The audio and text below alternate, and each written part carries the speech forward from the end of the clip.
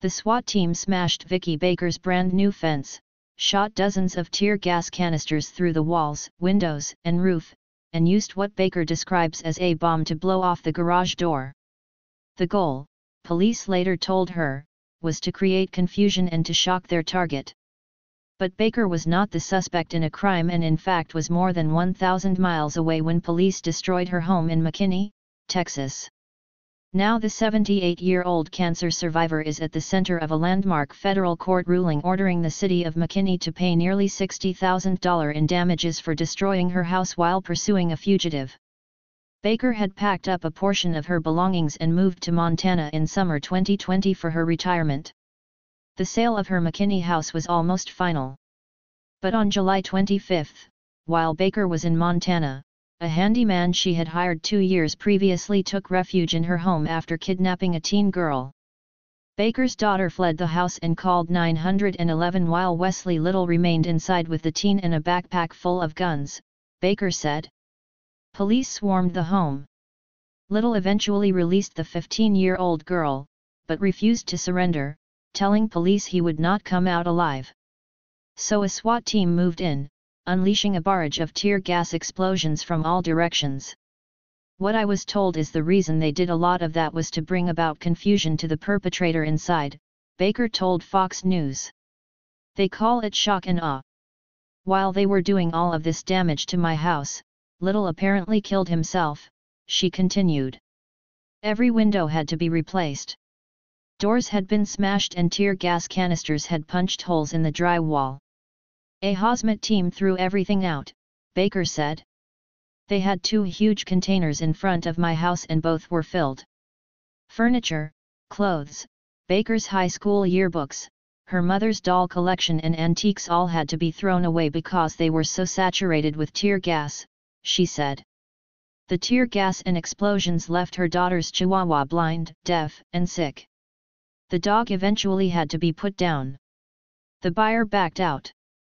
The damage totaled at least $50,000. Baker's insurance company refused to cover the bulk of the damage because her policy like most excludes damage caused by the government. Baker tried to file a property damage claim with the city, but officials refused to pay, citing qualified immunity, a doctrine often used to shield police and other government agencies from being sued for violating people's rights or destroying property during the course of their work. We've never paid a claim like this, Baker remembers a city employee telling her. You won't get a dime. Those were her exact words. She said she laid on the couch crying for days.